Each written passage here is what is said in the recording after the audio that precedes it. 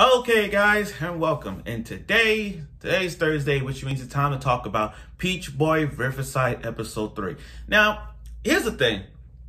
The first episode got me rolling because I never would have expected a show like a title like Peach Boy Riverside. Again, for the title Peach Boy Riverside, I thought it was one of those romance, rom-com thing. Like I said, I haven't seen a trailer at the time, but looking at it, the first looking at the first episode, it was really bloody. Second episode gave us a little, gave us action, in, including seeing the Peach Boy himself, the debut of him. And now we're on episode three, and I gotta say, I like it's very it's a very good episode. It's very good. I'm not gonna sit there. I'm not gonna argue with you guys and say, "Oh, this episode was awesome." It was okay. Did it rush? Yeah. I'm not gonna lie to you. Like I said, I, I I haven't read the manga. I'm gonna say it again. I I haven't read the manga, so I didn't know nothing about Peach Boy Riverside. I don't. I don't know nothing about it. And I was told that I was told by my friends that they skipped a lot. And looking at this, it says like chapter 18 and 19. Like I said, I haven't read it, so I don't know nothing about it. But I, like I said, I don't mind spoilers. This is one of those shows where it's like, you know what? I don't mind the spoilers. I don't mind. I don't mind. So if you guys want to post any comments about Peach Boy Riverside, like is it worth reading or is it not? You can post it on my comment page, and I'll and I'll probably will read it if I have time. If I have time, that is.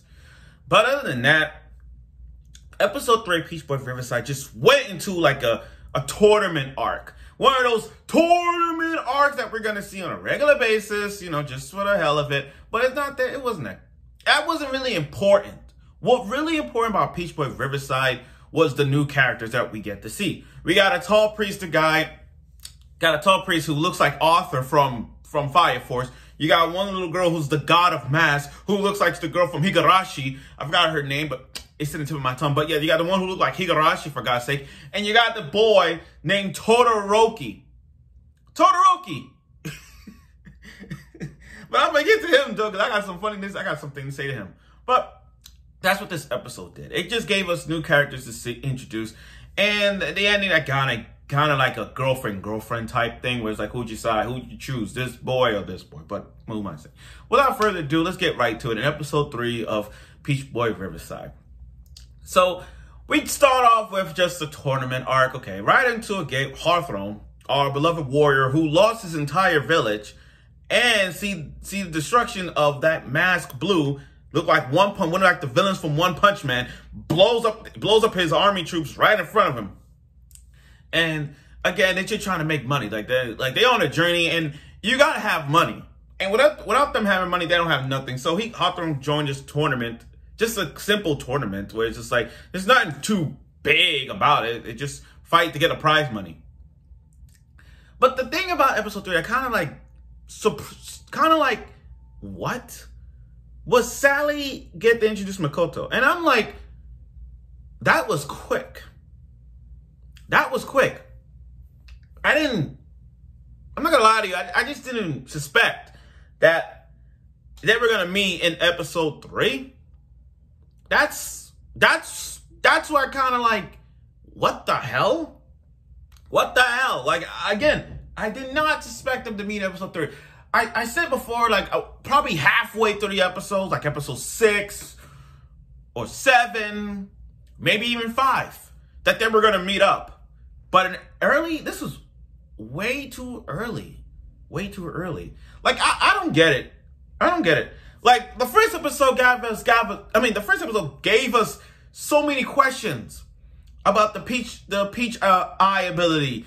Uh, questions about, are they to meet up one day? You know, uh, questions about development or whatnot. And, and that's to be later on. But in this episode, it's just like, wow. Wow three episodes, and the Peach Boy and Peach Girl actually meet up. Man, that is something. I don't know if they rushing this. I don't know if they're rushing this. I don't know if they got if that if that's their plan on it. But way to wait, way to kick off this. Way to kick off this. So again, I'm not good with names. I'm not good with names. Bear with me on this. I'm not. So I'm just gonna go by description of the characters. First off, this priest guy who looks like he and he's and it was revealed at the end that he's a high level ogre. Anyway, Oni. Anyway, he he looks like this Arthur lookalike from Fire Force. Sitting down, you know, in this abandoned building, waiting for the god of mass to come up. And this little girl anywhere just who looked like to um uh look like the girl from um Higurashi when they cry uh, she's like, pick me up, pick me up. And they're like, oh, you underestimated a god. Don't disrespect the god. I was surprised that she was a god, to be honest. I thought she was one of those, like, strong level Onis, like, surprises. But she's a freaking uh, god of mask. Like, just creative masking. And I'm like, wow. So, to make it better, they summoned, like, they did some kind of high council, summoned all the Onis, and just having a little meeting about the Peach Boy. Like, they got to kill this Peach Boy. It's kind of like, it's like the Dark Knight, where the Joker comes and he's like, okay, what do you propose? Okay, it's simple. We kill, we kill the Peach Boy. Simple. That's all we gotta do. We gotta kill the Peach Boy. it's like that. Simple. We killed the Batman. So again, it's kind of like the Dark Knight type vibe when they have the meetings. But still, still, he kills. He tells the Onis the report about what really going on, about how they killed Matt. You know, the girl with the horn with the with the eye thing yeah, that. So he he falsely lied to them, falsely lied to them and say, oh, they uh, Peach Boy killed her, but didn't. You know what I mean? They killed her. So they trying to pretend like this actually happened. And then you got this boy named Todoroki. This is what I kind of like this that, this this this was my reaction when he said Todoroki. I'm like, what? what? Wait a minute, wait a minute. You're telling me that boy name is Todoroki? Todoroki! And I ain't talking about my hero.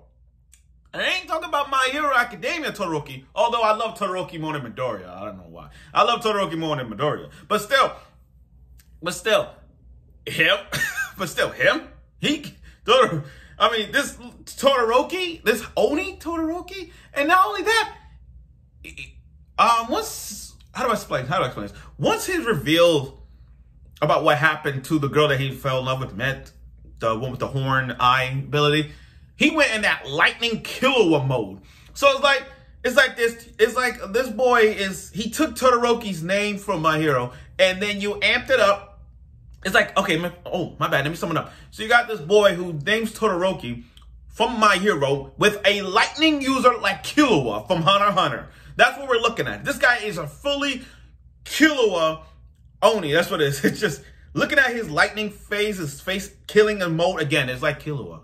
And if you guys have seen Killua's lightning phase of destruction, Todoroki, not my hero, Todoroki and Peach Boy Riverside, he's got that killing Killua mentality in him. And I see that coming. And I saw it. So now he's going on a journey to kill that guy, kill Peach Boy himself.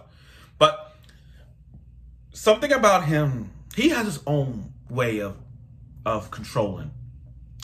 First time, first time I've seen him. Um, again, I'm not good with the name. Just bear with me on this. First time I seen him, he was kind of the one that looked like Arthur from Fire Force. That guy, he looks so shady. I didn't. I don't believe this guy. He looks so shady. It's kind of like Aizen from Bleach. You look at Aizen first and you're like, something's not right. So I look at him, I'm like, something's not right. He is so, uh-uh. So you got this uh, God of Mass saying she's looking for someone, trying to make friends with Hawthorn, because Hawthorn's competing in the tournament in the next match. And um, it's that sinister look about making friends. And she literally, it's that face, that dark aura. And, and I'm like, oh, you're going to kill this one? Wow. Now, I understand Hawthorn doesn't know humans like that. I mean, doesn't know which one's Oni, but she is a, don't, don't underestimate her. That's all I'm going to say. Don't underestimate her.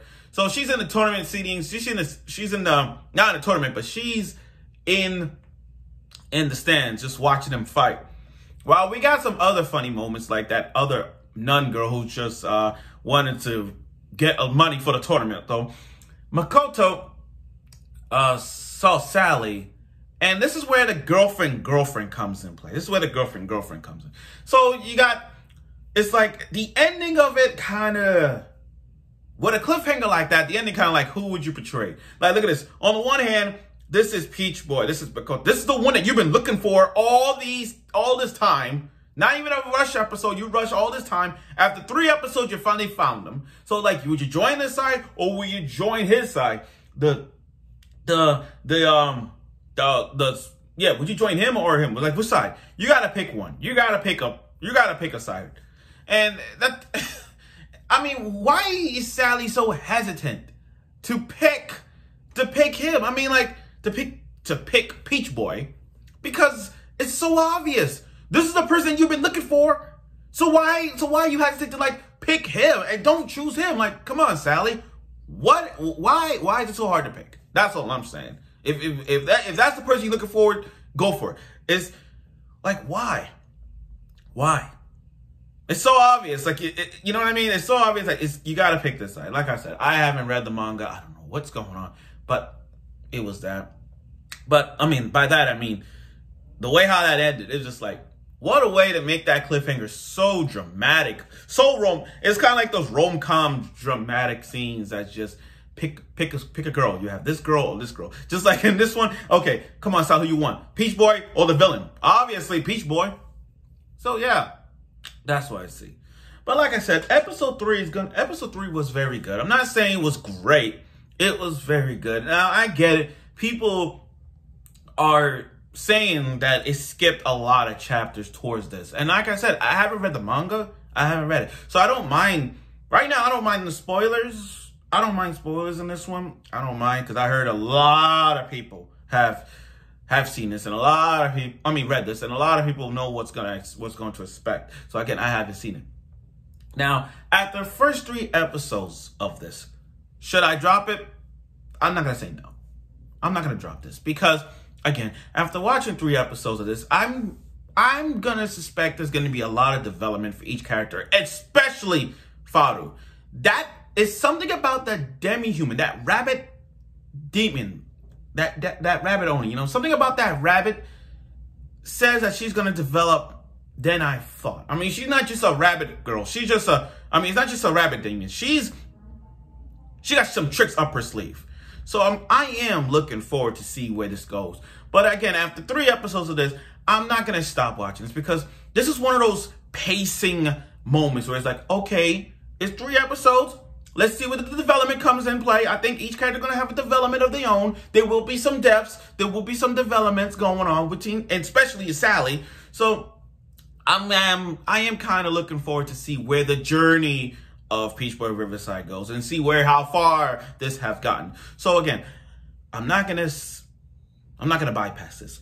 I'm gonna continue on watching this and give you guys reviews of this every week as possible. But like I said, now the whole and again, uh, again, I don't know where the plot is gonna be now. Now that now that he now that Sally found Peach Boy, now that he found the boy he was looking for, I don't know in the direction of this. But I like to see where this is. I like to see where this is going. So let's see how that works.